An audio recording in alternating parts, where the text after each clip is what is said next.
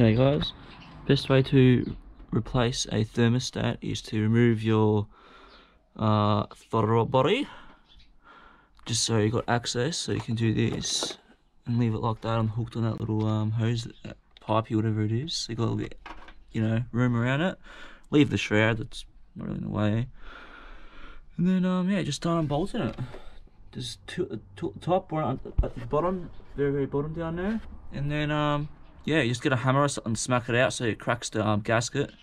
And then you just, replace it. That's pretty much it. And um, make sure when you do it, place it like this.